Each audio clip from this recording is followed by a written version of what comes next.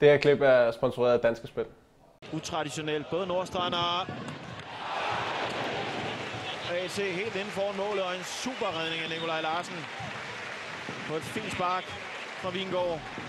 Ja, meget flot stil her. Strækker sig op. Bruger venstre